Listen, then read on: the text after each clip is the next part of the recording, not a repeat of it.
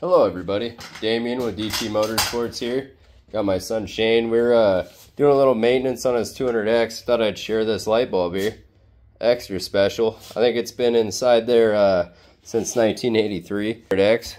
So uh, yeah, we're gonna do a size comparison video after I change these light bulbs out. I'm pull this out, the pit bike trike, the Trizinger, just to kind of show the size difference of the pit bike trike.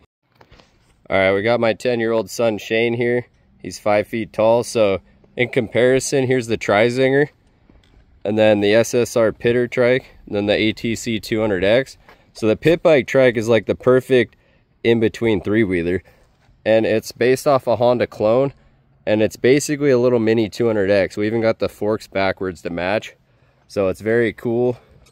Um, it does have one Yamaha part, which is the big wheel 80 front hub but the rest of it's Honda clone, including the Lifan 125 engine. So as you can see, he's ready for the 200X.